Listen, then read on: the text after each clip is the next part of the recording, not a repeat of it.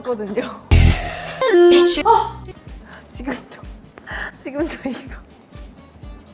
아 진짜 혀까지 내미는데 진짜 조금. 그 말을 왜 해요? 아 좀 화가 나서 그래 진짜. 아무리 네가 날 미쳐도 유리가 생각하는 혜원의 베스트 셀피는 저 있어요. 너무 좋아하는 사진 있어요. 뭐예요? 언니가 맞추셔야죠. 아전 멈출 수 없고. 아, 엄청 까지지 않았어? 에 저는 그거 샌들 이거 샌들 신고 앉아 있는 거? 어떻게 알았어요? 그럴 줄 알았어. 언니 어떻게 알았어요, 진짜로? 그냥 그럴 것 같더라.